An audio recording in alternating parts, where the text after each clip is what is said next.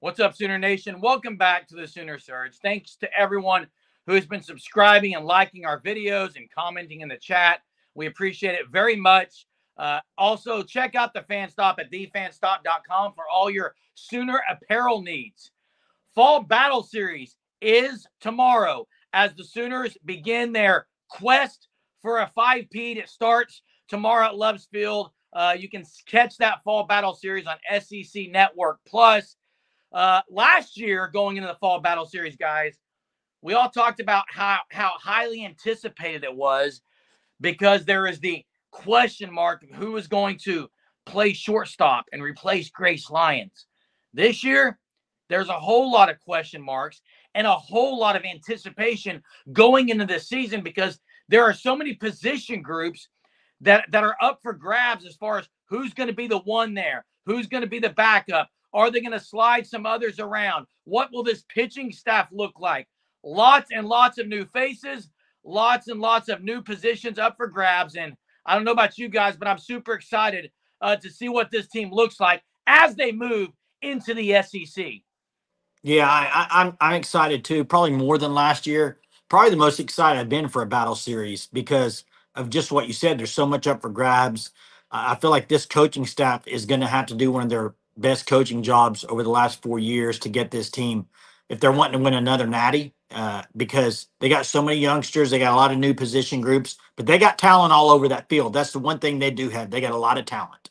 And i think i'm most forward looking into seeing a few things. I i i, I want to see Hannah Coor to see if she can uh maybe have a good year. You know the injuries have killed her and it's just like maybe, maybe this is a year she can have a, a great year. We'll see. Uh, the other one is this: who's gonna be the the freshman standout? Because there will be one, guys. It's it's gonna happen. There's gonna be a freshman or two that you just after maybe 10 or 20 games, you're like, wow, this person is lighting on fire this year, just like Ella Parker and Cassidy Pickering did last year. It's going to happen. Who's it going to be, though? That, that's the question. Uh, I, I, don't know. I, I'm, I'm super excited to see Tia Milloy. Uh, really excited to see her play, along with a lot of other players, guys. Yeah, guys, I'm super excited to see what the emergence of Kierston Deal is going to look like. Last year, I think we all thought that Kierston Deal was going to have a larger role than what she ended up uh, really having throughout the year. And I, you know, I think that had to do too with the emergence of Kelly Maxwell, just how dominant she was throughout the whole entire year. But I really look for Kierston Deal maybe to take on that quote unquote ace status on this staff. Now, I'm not even sure if there's going to be an ace this year, if it's going to be like last year where it's more like committee early in the year than once you get later into the year, someone starts to emerge. So that'll be something I'm watching. And also, Jay, you said it. Which freshman is going to is really going to be able to make that impact and really truly emerge themselves as a starter and make a ton of plays, and that and we're all going to be like, okay, this is a freshman Oklahoma is going to need during the season to make some huge plays, like Ella Parker with just how good she was last year throughout the whole entire World Series. She was maybe the best offensive player that Oklahoma had. So I, you know, I just really look for the freshmen and also who's going to emerge on the pitching staff. You, one thing we can kind of, I, I think, take from the fall battle series, guys, going to look at past ones. Cassidy Pickering last year uh, kind of uh, made her, I guess you could say, entrance in the fall battle series, and she never relinquished the opportunity. I mean, it's very clear that Patty Gasso is going to look what happens here, and you can solidify yourself in this lineup by playing well in the fall battle series. This isn't some just preseason scrimmage for fun event. They take this very seriously in Norman, Oklahoma. Uh, last year, two specific freshmen. You had Cassidy Pickering and Ella Parker that emerged as that freshman class. The other two, Maya Bland, used sparingly in pinch running roles, and then Nellie Mack with the red shirt. Those are two others uh, that have been around this team uh, that may be looking, I'm sure, to make an impact this year very quickly. Talking about Patty Gasso, though, uh, she's got a little different uh, job ahead of her this year, guys. Uh, I think she's going to have to take more of a role. And not not to say that she hasn't, because she's always been in, in the role as the head coach, but she had so many elite leaders the last three or four years. I think she probably thought she could take a step back a little. I'm not saying that that's what she did because I don't think that's what she did, but you guys know what I'm saying. This year, those leaders have to be developed. They've got to step up. We don't know who those are, leaders are yet. Uh, I think we'll see some come out of this fall battle series, but I think Patty Gasso is probably uh, refreshed a little bit because now it's almost like she's going to go back to maybe some old ways of, of coaching. And again, I don't want to say that's what she's doing, guys, but uh, she was able to rely so heavily on, on some of the elite leaders that she was able to develop, and they they were elite. And Kinzie Hansen, Tiare Jennings still there on staff. I think that helps. But who's going to be the leaders this year? That's something to also keep an eye on. Yeah, and, and, you know, you mentioned last year and how important it was in the battle series, Cassidy Pickering.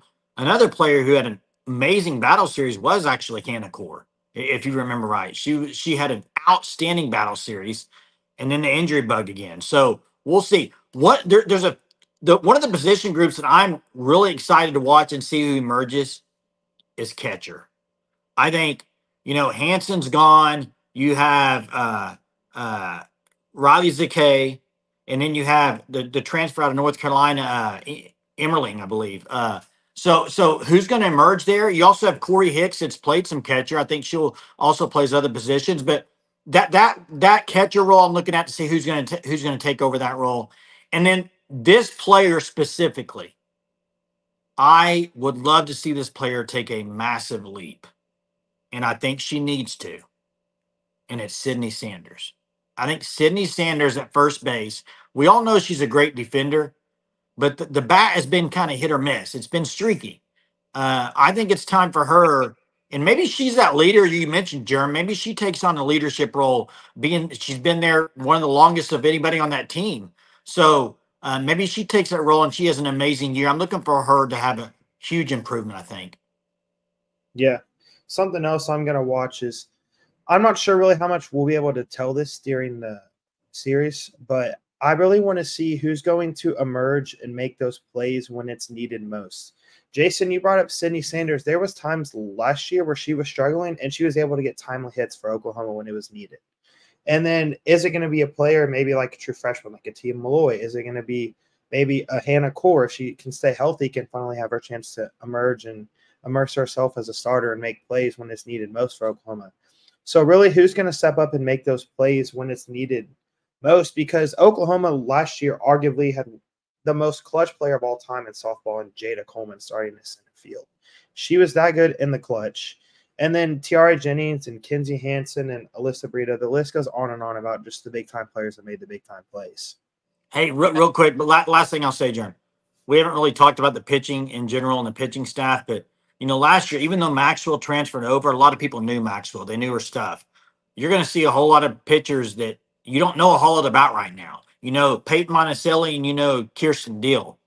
Um, the rest, I mean, I, will just say, I mean, I watch softball, but I haven't seen a lot of these players pitch. So uh, excited to see some of these transfers. Also excited to see Audrey Lowry, uh, see what they got with their arms this year. Uh, super excited for Audrey Lowry. Uh, dominant pitcher everywhere she's been. Can she continue that at this level early in her career? Something to keep an eye on. Paytn Monticelli, guys, I think vocal leadership is going to be a strong point for Paytn Monticelli. I mean, she is fiery. She's passionate. Does she take that role? And guys, Go look at last year's team. We know they had timely hitters.